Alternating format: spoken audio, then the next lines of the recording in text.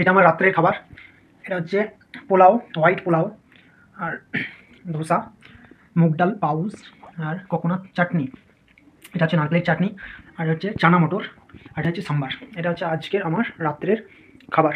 আজকে মোটামুটি 12 কিমি হেঁটেছি সেই জন্য আজ ওজনলি খেতে বেগেছে একটু বেশি মিষ্টি খাবো আজ তো